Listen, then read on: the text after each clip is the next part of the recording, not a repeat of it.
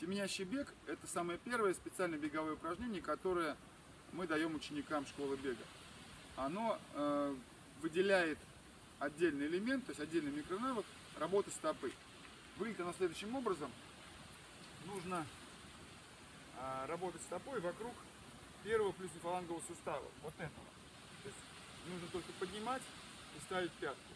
Не надо включать мышцы сгибателя бедра, то есть поднимать ногу вот так после этого. Просто поднимая пятку, мы поднимаем и колено. До вот примерно такого уровня.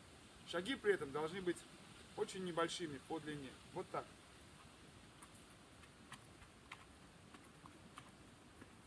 В этом случае соблюдается один из, точнее два главных принципа. Это вертикальный корпус и каденс, то есть частота шагов.